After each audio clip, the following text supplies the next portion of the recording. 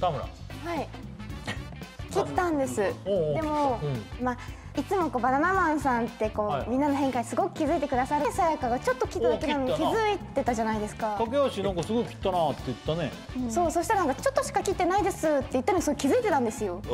私13センチ切ったのに何も言われてなくて 収録中なんかいつ言われるかなと思ってこうドキドキしてたのに。一回も言われたことなくて。目下ぐらいまであって。本当だ。投げすごい切ったたでしょさすがに。本当もう目も合わせてくれませんでした。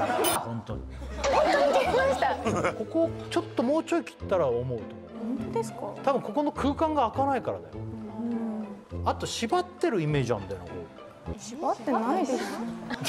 もうその言い方が愛人みたいな言い方なんだ。よ合ってないんだけど。う見とくわ。はい。なんか変な感じになっちゃう